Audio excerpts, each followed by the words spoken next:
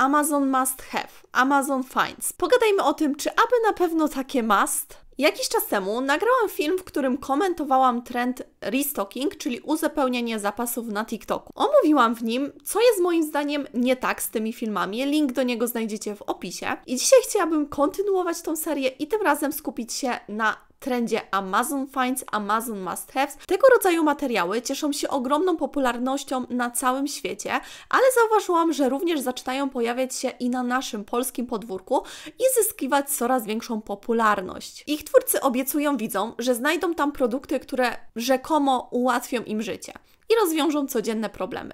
Jednak czy rzeczywiście warto się z nimi zainteresować? Czy te produkty rzeczywiście spełniają swoje obietnice, a może są tylko chwilową nowinką, która szybko zostanie zapomniana? I w tym filmie przeanalizujemy najczęstsze problemy, które moim zdaniem wynikają właśnie z filmów typu Amazon Finds czy Amazon Must Have oraz zastanowimy się nad metodami, które autorzy używają do tego, by przekonać widzów do zakupu tych produktów. Porozmawiamy sobie również o tym, jakie konsekwencje niosą za sobą tego typu filmy oraz jakie pułapki kryją się za ciekawie zmontowanymi filmikami. Także zapraszam do oglądania. Więc po pierwsze, jednym z takich kluczowych problemów, moim zdaniem, e, które ja widzę w tego typu filmach, jest rozwiązywanie problemów, które nie istnieją. Wiele z tych promowanych produktów oferuje rozwiązania takich niby codziennych problemów, które można pokonać, powiedzmy, innymi, często znacznie prostszymi metodami, chociażby za pomocą własnych dłoni. Natomiast przeglądając te filmy, ja odnosiłam nieraz wrażenie, że jest to przedstawione w taki sposób, że to jest tak naprawdę jedyna opcja, z jakiej możemy skorzystać. Na przykład specjalna gąbeczka do usuwania piasku z ciała. Idziecie sobie na plażę i zabieracie ze sobą ekstra gąbkę, która ma służyć tylko temu, żeby zetrzeć piasek z ręki, z nogi e, czy tam z czegoś, zamiast na przykład użyć e, po prostu do tego dłoni albo ręcznika. Albo inny przykład, który zapamiętałam, dozownik e, z pianką do mycia rąk nakładany na butelkę. Kiedy na przykład w podróży nie macie jak umyć rąk. Jakby no potrzebujecie do tego specjalnego dozownika, bo przecież nie istnieją mokre chusteczki, bo przecież nie istnieją toalety publiczne, bo przecież nie można nawet sobie polać rąk e, tą wodą, z którą i tak się ostatecznie te ręce myło, tylko ten dozownik dodatkowo dawał nam taką piankę. No moim zdaniem to są takie troszeczkę bzdurki, które właśnie są wymyślane tylko po to, żeby zaspokoić potrzebę, którą możemy zaspokoić zupełnie bezpłatnie, nie kupując żadnych dodatkowych rzeczy. To według mnie pokazuje, jak wiele rzeczy nie tworzy się po to, żeby rzeczywiście ułatwiać nam życie, ale właśnie, żeby wzbudzać w konsumentach takie sztuczne potrzeby. I to się, słuchajcie, niestety udaje, dlatego że zwłaszcza przeglądając tego typu filmy, no my dowiadujemy się, słuchajcie, o rzeczach, o których istnieniu naprawdę nie mieliśmy pojęcia. To działa trochę tak, że dopóki nie wiemy, to zupełnie nie czujemy potrzeby, żeby to mieć. Ale kiedy zobaczymy, to nagle wtedy pojawia się ta myśl, a fajne, może w sumie by mi się przydało. To jest dosyć znany case. Twórcy e, tego typu treści, marketingowcy, tak? Osoby, które znają się po prostu na zarabianiu pieniędzy, na biznesie, na psychologii marketingu, doskonale wiedzą, że konsument jest dużo bardziej skłonny kupić dany produkt, jeżeli będzie on rozwiązywać jego problem. Nawet taki, wiecie, teoretyczny, mało znaczący, który może rozwiązać za pomocą tego, co już ma. Ale jeżeli zobaczy coś nowego, coś ciekawego, coś, co go zaintryguje, to wtedy jest dużo większa szansa, że stwierdzi, że to jest mu potrzebne, że kiedyś może tego nie potrzebował, ale od tego momentu, kiedy to zobaczył, już nie może bez tego żyć. No ale właśnie, jak długo? I tutaj przechodzimy do kolejnego problemu, e, jakim jest moim zdaniem nietrwałość i krótki czas użytkowania wielu produktów reklamowanych jako must have czyli takie rzeczy, które my dosłownie musimy mieć. Widujemy tam różne gadżety, które na pierwszy rzut oka wydają się przydatne, tak? Bo słuchajcie, ja sama oglądając, dlatego nie polecam generalnie tak dla przyjemności oglądać sobie takich filmów, bo to może wzbudzać właśnie chęć kupienia sobie czegoś, właśnie co tam zobaczymy, bo nieraz miałam taką, tak się łapałam na takiej myśli, o fajne, ciekawe, no nie?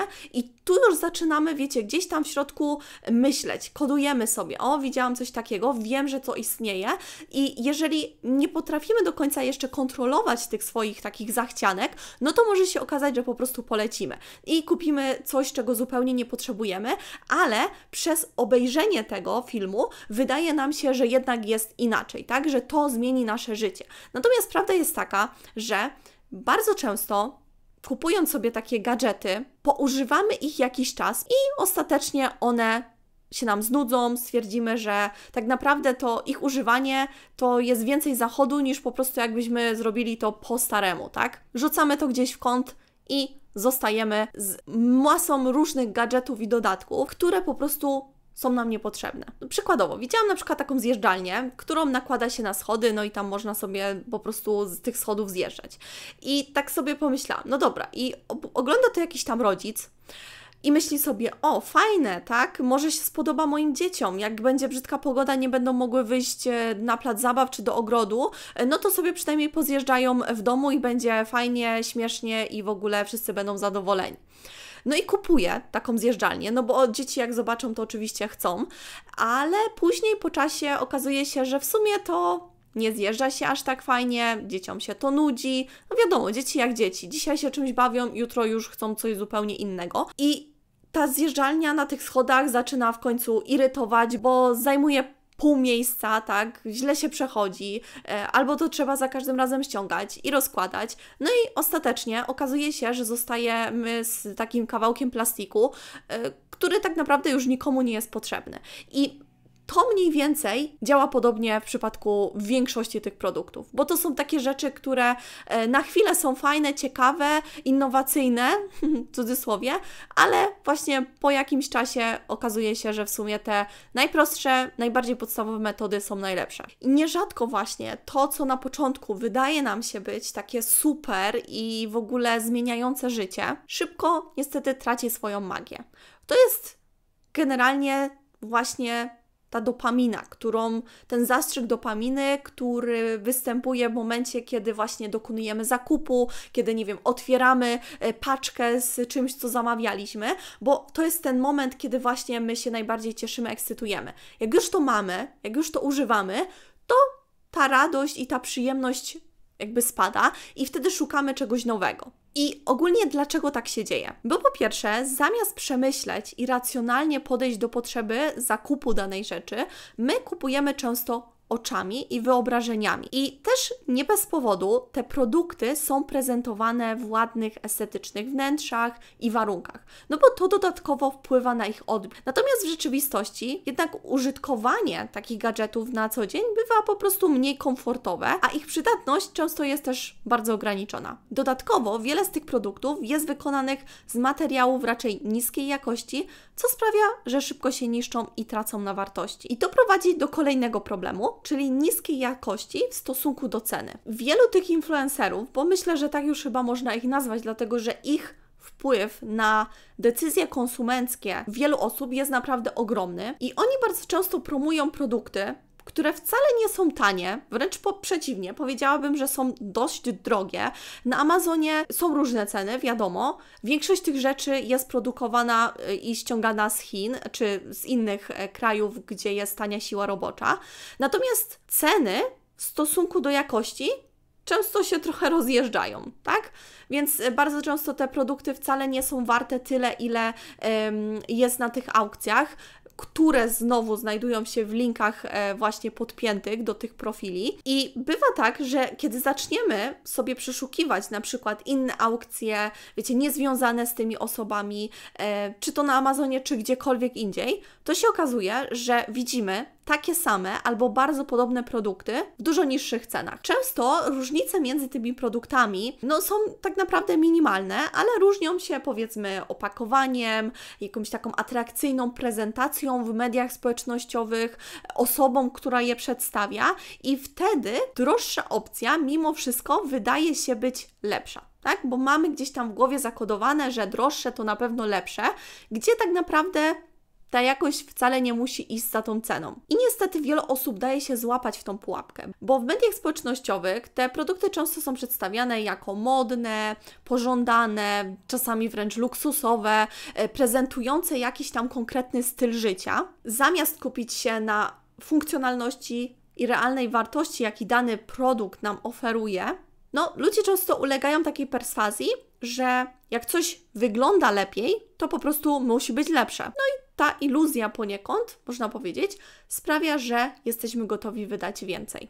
Nawet nie szukać nic podobnego, nic, e, wiecie, albo takiego samego na innych aukcjach, aukcjach tylko po prostu widzimy to u tej osoby, stwierdzamy, ok, skoro ona to pokazuje, no to my jej, to, my jej ufamy i co z tego, że pokazuje tysiące takich produktów tygodniowo, ale gdzieś tam ludzie mają takie coś, że po prostu z góry ufają, tak? No bo wiecie, według mnie jest różnica między osobą, która pokazuje produkty, których używa, które testuje, e, które są dla niej po prostu fajne i, i chętnie je poleci, a między takim kimś, kto wrzuca na przykład y, tygodniowo, nie wiem, kilkadziesiąt filmów z kilkudziesięcioma różnymi produktami, gadżetami i po prostu to pokazuje jako super fajne i praktyczne, mimo że no fizycznie nawet nie jest w stanie tego przetestować. Często w ogóle jest y, w tych filmach tak, że oni tam tylko podkładają głos. Po prostu biorą, y, zbierają filmiki od innych osób i podkładają głos i na tym przy okazji zarabiają. No jest, biznes jest to na pewno rewelacyjny, tak? I ja, słuchajcie, słyszałam w Stanach Zjednoczonych osoby, które właśnie sprzedają takich linków afiliacyjnych, czy to na Amazonie, różne rzeczy, tak? Ja akurat słyszałam o takich e, różnych e, gadżetach związanych z e, sprzątaniem, jakichś pojemnikach i tak dalej. To są, słuchajcie, dziesiątki tysięcy zarobku miesięcznie. To jest na przykład 50-60 tysięcy e, samych właśnie takich afiliacji, nie licząc jakich jakichś tam dodatkowych współprac.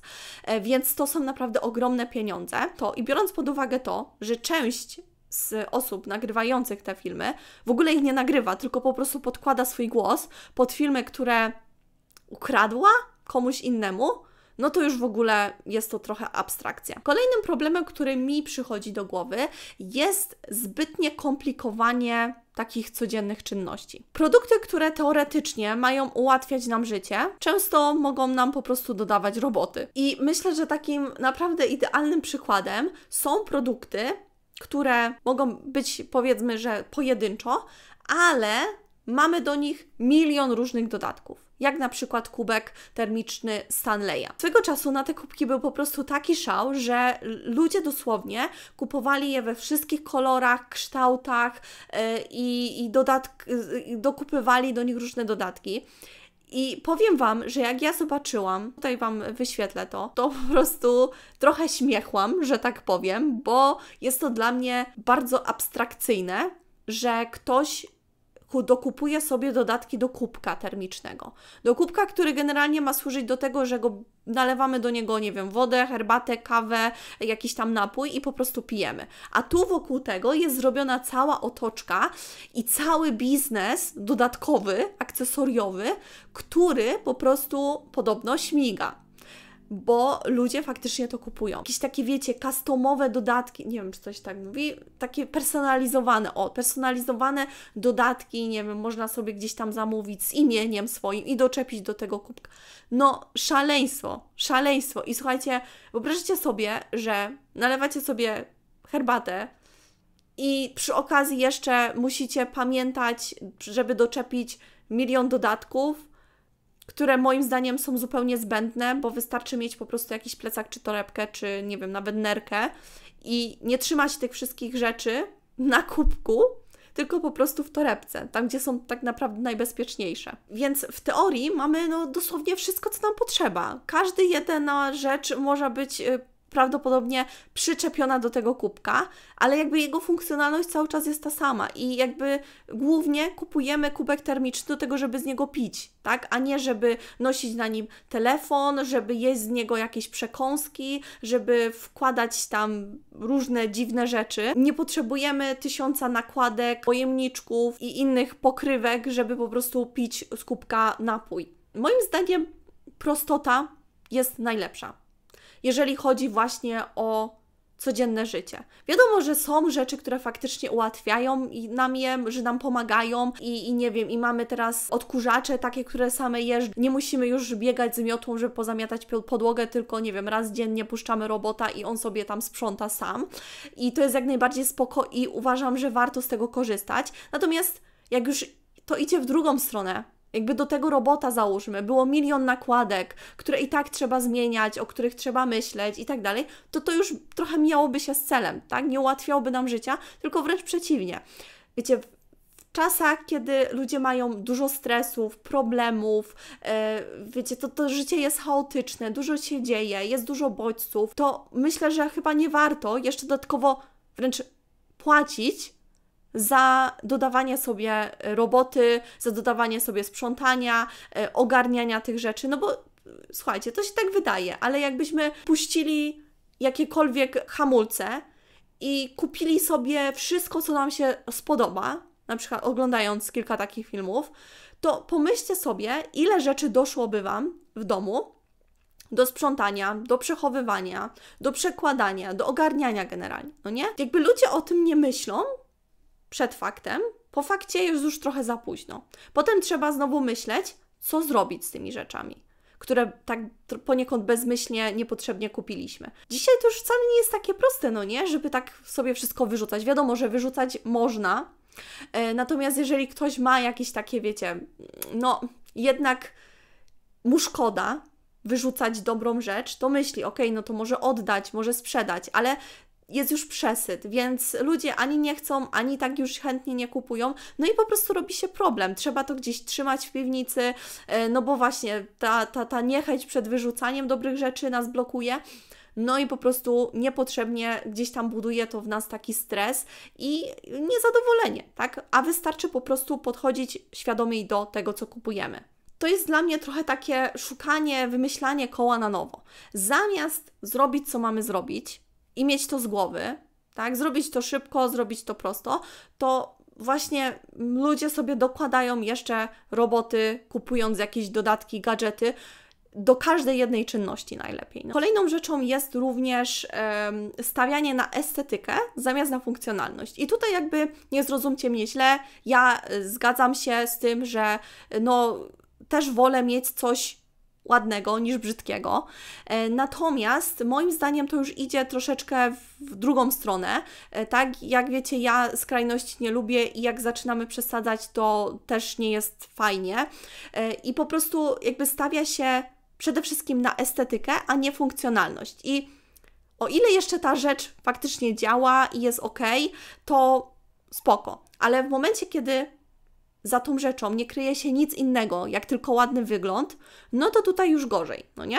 W filmach często widzimy rzeczy, które wizualnie prezentują się naprawdę bardzo dobrze, ale już w praktyce ich wykorzystanie, ich jakość, ich przydatność jest mocno wątpliwa. No i takim ostatnim problemem, o którym no nie mogę nie wspomnieć, jest oczywiście promowanie hiperkonsumpcji. Przeglądając tego typu treści, można odnieść wrażenie, że aby prowadzić wygodne i nowoczesne życie, to my potrzebujemy do tego po prostu masy rzeczy, masy różnych gadżetów. Każdy kolejny film sugeruje nam poniekąd, że bez tego nowego produktu nasze życie nie będzie pełne. I to jest szczególnie niebezpieczne, dlatego że e, buduje w nas takie przekonanie, że nigdy nie mamy wystarczająco, że zawsze jest coś, co moglibyśmy kupić, co moglibyśmy mieć, co być może ułatwiłoby nam życie albo na przykład dodało mu prestiżu, nie wiem, jakiejś takiej wartości. I nawet jeśli posiadamy już rzeczy, które są podobne albo które spełniają tą samą funkcję, wzbudza się to pożądanie, ta chęć posiadania akurat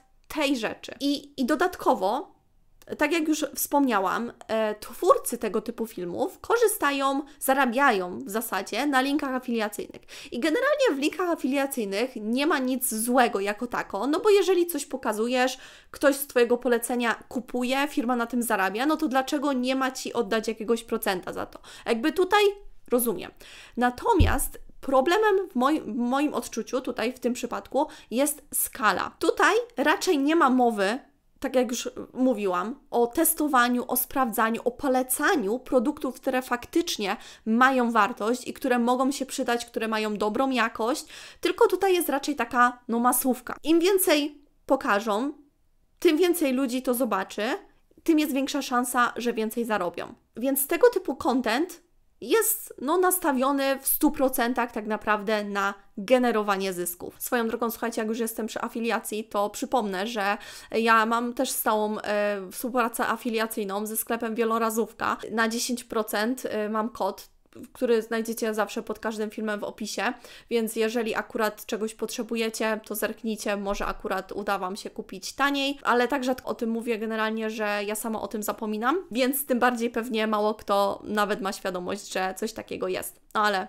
to już tak, akurat przy okazji tego tematu. No dobra, więc problemy mamy omówione, to teraz przejdźmy do tego, w jaki sposób autorzy tych filmów zachęcają widzów do kupowania tych różnych gadżetów. Trzeba mieć świadomość, że stosują oni różne techniki, które mają na celu właśnie zachęcić widza do kupienia prezentowanych rzeczy. I wcale nie chodzi o to, że oni bezpośrednio mówią kup, kup, kup, kup, kup, bo wtedy nikt tego nie kupi, po prostu. Oni to robią w dużo subtelniejszy, ale z drugiej strony skuteczny i dobrze zaplanowany sposób, tak aby właśnie wywołać w odbiorcy chęć posiadania. Po pierwsze, podkreślenie praktyczności. Twórcy często prezentują produkty w taki sposób, aby wydawały się one wyjątkowo przydatne w codziennym życiu.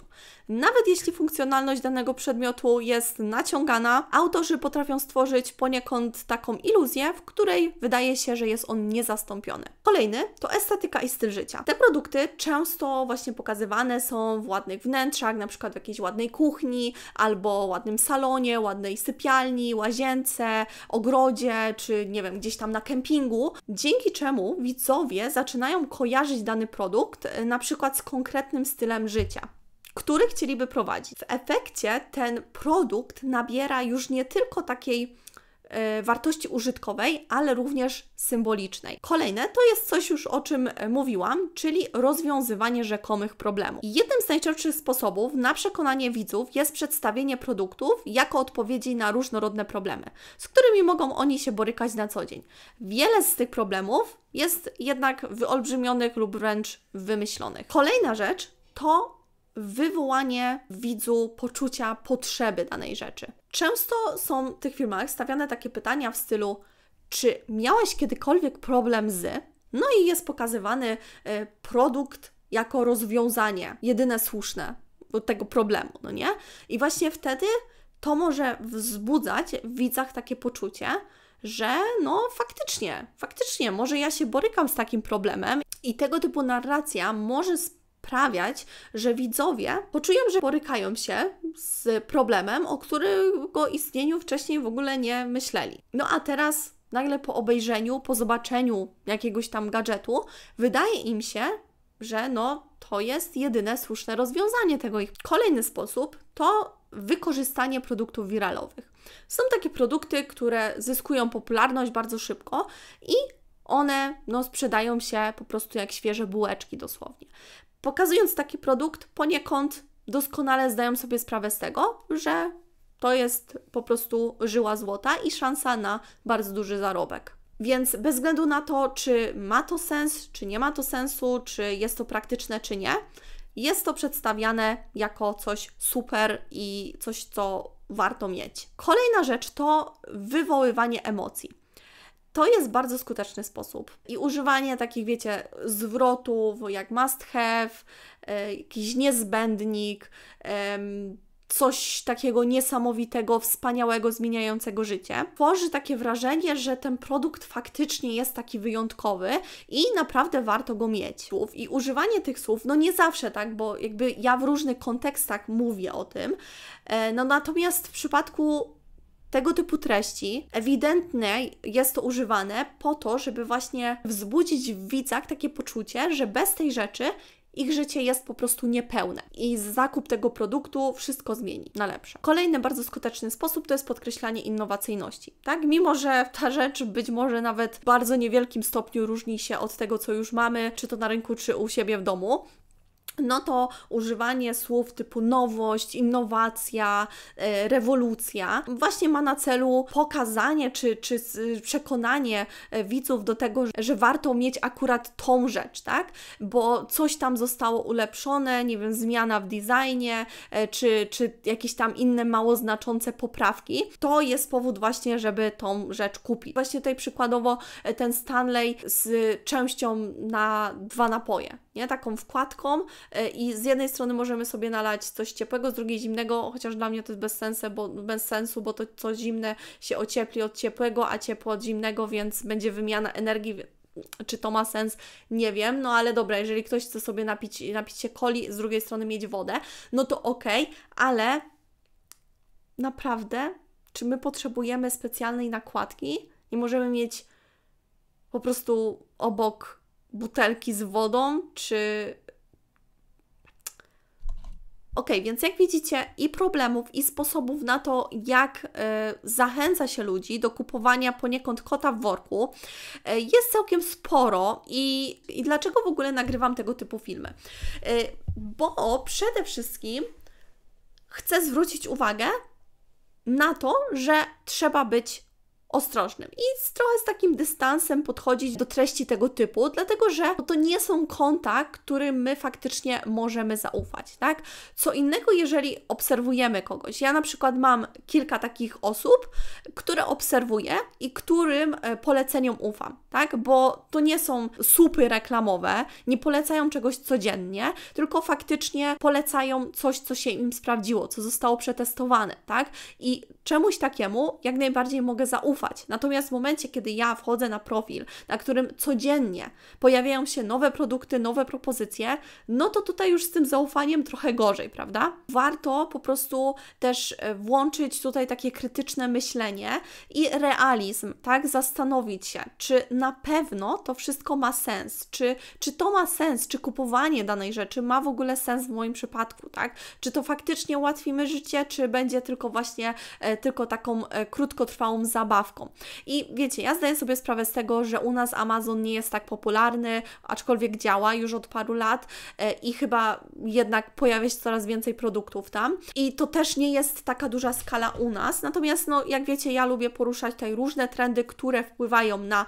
e, zachowania konsumenckie, właśnie na e, konsumpcjonizm i tak dalej. Więc, no, myślę, że taka seria jest całkiem ciekawa, a, na, a TikTok to jest akurat bardzo dobre medium społecznościowe do właśnie wyszukiwania różnych takich dziwnych, mniej czy bardziej problematycznych trendów. Natomiast no, możecie się spodziewać, że y, co jakiś czas będzie się coś takiego po pojawiać, być może w różnej formie, bo jak widzicie w tym filmie nie komentowałam konkretnych filmów w przeciwieństwie do poprzedniego e, z tej serii. Natomiast po prostu będę to robić e, tak, jak, jak czuję w danym momencie, co mi akurat do danego tematu pasuje.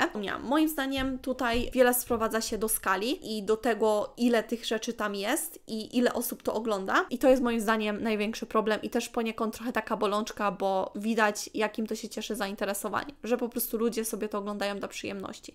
No i z jednej strony ja to rozumiem, bo to tak działa, że poniekąd właśnie oglądając takie filmy, my też mamy taki wystrzał dopaminy, to nam sprawia przyjemność, e, no ale z drugiej strony też uważam, że robimy sobie, oglądając przynajmniej w dużych ilościach coś takiego, no trochę krzywdę, tak? Bo jednak to się koduje. I tak jak mówię, ja już mam ze sobą wiele lat, powiedzmy, praktyki i pracy nad swoimi nawykami, a i tak oglądając takie, e, takie filmy, nawet właśnie na potrzeby e, nagrania filmu na ten temat, to łapię się na tym, że pewne rzeczy mi się też podobają, tak? No bo to nie jest tak, że ja nagle, wiecie, jestem totalnie odcięta i nic nic, ściana, nie? W ogóle nic na mnie nie działa, no bo tak nie jest. To są różne sposoby takiej właśnie perswazji, które działają tak naprawdę na każdego mniej, bardziej, w zależności od tego, jak pracujemy. Ostatecznie y, wszystko sprowadza się do tego, jaką decyzję podejmiemy. I czy będzie ona faktycznie przemyślana, czy podyktowana właśnie e, zachcianką, czy jakąś, jakimś impulsem. E, natomiast nie zmienia to faktu, że to działa na nas. I się koduje. I jakby e, poniekąd my nawet nieświadomie, tylko podświadomie gdzieś tam to sobie przetrawiamy. I to po prostu w jakiś sposób wpływa na nasze postrzeganie potrzeb. Ok, to by było na tyle. Dajcie znać, co myślicie. Czy dodalibyście tutaj jeszcze e, coś w tym temacie? E, jak Wy zapatrujecie się właśnie na tego typu filmy?